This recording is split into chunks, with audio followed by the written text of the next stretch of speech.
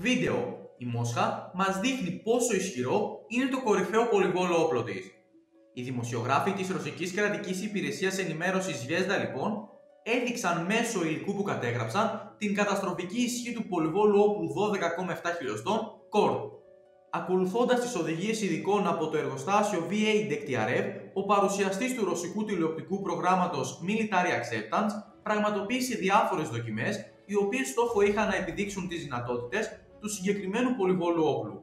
Για να δείξουν την ισχύ του διαμετρήματος 12,7 χιλιοστών, οι Ρώσοι έκοψαν ένα ολόκληρο δέντρο πυροβολώντας το με ένα πολυβόλο όπλο τύπου Korn. Σύμφωνα με το υλικό, χρειάστηκε λιγότερο από ένα λεπτό χρησιμοποιώντας εμπριστικά πυρομαχικά.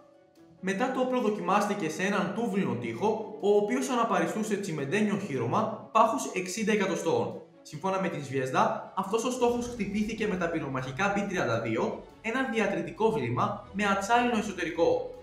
Βάσει του βίντεο, το Κορτ κατάφερε με επιτυχία να καταστρέψει τον τοίχο. Φαίνεται πως οι σφαίρες διέλυσαν τον τοίχο σε μικρά κομμάτια. Επίσης, δοκιμάστηκε και η ακρίβεια του πολυβόλου όπλου Cord στην εκπομπή Military Acceptance, αφού σύμφωνα με την κατασκευάστρια του όπλου, το Cord επιδεικνύει ακρίβεια παρόμοια με ένα τυφέκιο ελεύθερου σκοπευτή. Για αυτή την δοκιμή, το Cord ανεφοδιάστηκε με μόνο μία σφαίρα, αφού το όπλο μπορεί να εκτοξεύει και με μονομένες βολές.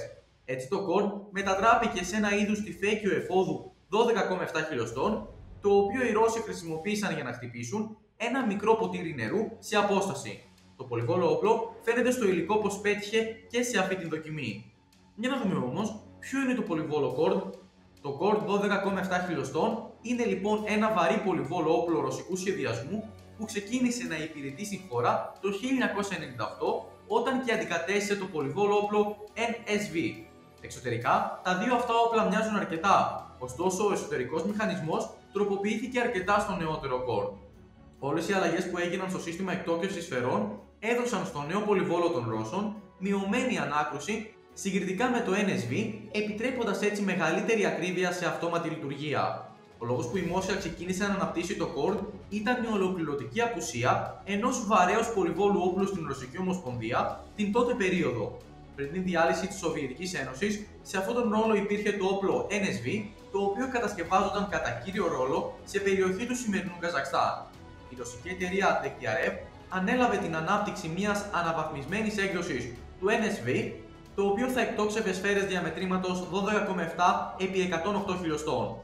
Αυτό ήταν το βίντεο. Αν σας άρεσε, μπορείτε να κάνετε εγγραφή στο κανάλι για να λαμβάνετε ειδοποίηση για κάθε νέο.